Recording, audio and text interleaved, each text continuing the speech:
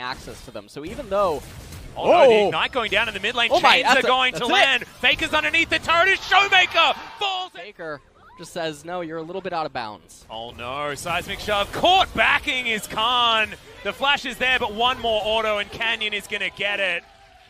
Uh, Ignite Flash are available here for Faker in a couple of seconds as Weave as well comes towards the top side. As Khan gonna get electrocuted, Oh. pops back with the seismic shove position. Oh, he's going to find Canyon. Yep, Sky Strike Oh. gonna come down there as he's looking to return the favor, but a lot of damage coming out. No seismic shove, no kill. As Oh. Nuguri's gonna tank up this turret. Oh. Doesn't really Oh! Oh no! What? Wow.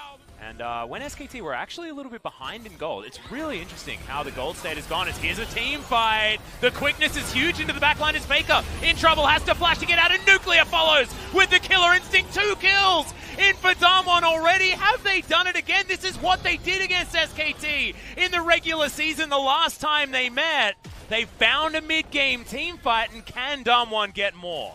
He's in this awkward state where he just sort of ping pongs the lane into Nuguri and then looks to roam around on the Valor. Barrel Baker, he's just going to keep doing this. See you later, mate. Clid is going to come in, and teams can do this. And that's why it's so interesting. It's al- almost like the win conditions are the same, and SKT found the position this time around. Showmaker flashes to get himself out, though wishes he still had that ultimate, but he doesn't. Canyon Oh, stole it. that's He used it against the wall as Canyon now in trouble. He's going to get taken down. Clid gets another one. Nuguri dives into the backline as Faker's just darting around, staying out of trouble, but keeping his health bar low enough to Basically, Harry. it's only Taliyah. Yeah. Weaver's Wall coming out. Yep, that is uh, Clid's one. His walls in uh, the Sandbox series were amazing What? as Nuguri is looking to try and force doing? this. He's taking way too much damage, and Teddy's going to be able to pick up that kill. BeryL into the back line, but he has to exit immediately. Effort's going to go down very low as Showmaker did find a Uh. decent flank. They do get one of the kills as now Khan's trying to make his way forward. Another wall came in, though, and that actually denied Quinn from getting entry. Take- Not take exactly a- uh, take a look. fiery day today, so a quick shot is Oh, going this to be is a upset. solo QS kill.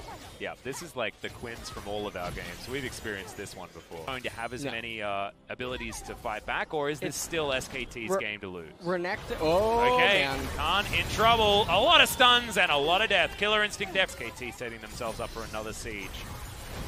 Okay, that's a hell of a lot of damage onto Showmaker. Can't really do too much, but it's a good double stun coming out.